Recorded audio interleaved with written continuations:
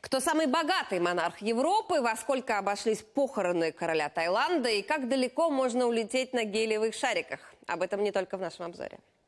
Правитель Лихтенштейна Ханс Адам II оказался самым богатым монархом Европы. По данным информагентства Bloomberg, его состояние почти 4,5 миллиарда долларов.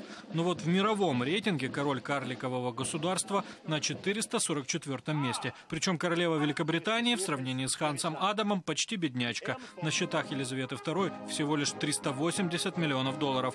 Монарх Лихтенштейна – собственник крупного банка, который обслуживает очень состоятельных людей. В Бангкоке продолжаются пятидневные похороны короля Рамы IX. Он умер еще год назад, но по традиции траур длится до сих пор. Сегодня тело монарха кремировали. Попрощаться с правителем пришли почти 12 миллионов жителей страны. Также приехали представители 40 государств. К похоронам готовились, проводили репетиции. Специально построили золотой храм для кремации. В церемонии приняли участие 5 тысяч военных. Организация ритуала обошлась госказне в 90 миллионов долларов.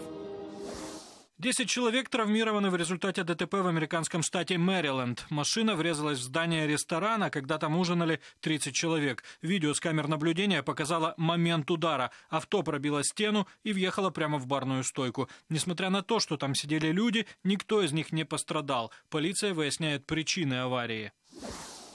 Британец Том Морган поднялся в небо с помощью гелиевых шариков и так совершил полет над Южной Африкой. Сотню шариков он привязал к обычному креслу и преодолел по воздуху 24 километра. Поднимался на высоту до 2 километров.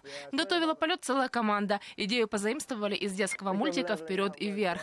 Там на гелиевых шариках летал жилой дом.